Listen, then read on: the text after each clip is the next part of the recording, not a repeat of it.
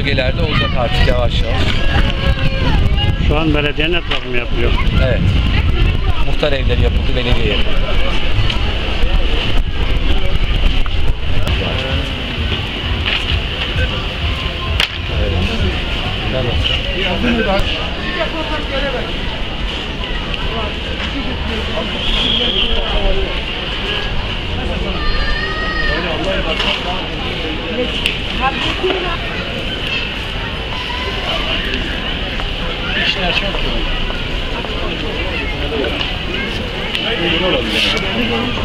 Metin sen?